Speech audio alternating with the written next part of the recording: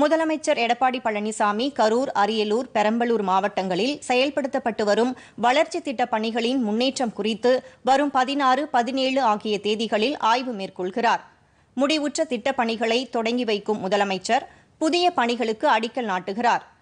இந்த மாவட்டங்களில் கொரோனா தடுப்பு நடவடிக்கைகளின் முன்னேற்றம் குறித்தும் அந்தந்த மாவட்ட ஆட்சித்தலைவர்கள் மருத்துவர்கள் சுகாதாரத்துறை அதிகாரிகளுடன் ஆலோசனை மேற்கொள்ளும் முதலமைச்சர் எடப்பாடி பழனிசாமி விவசாயிகள் மகளிர் சுய உதவிக் குழுவினருடன் கலந்துரையாடுகிறார்.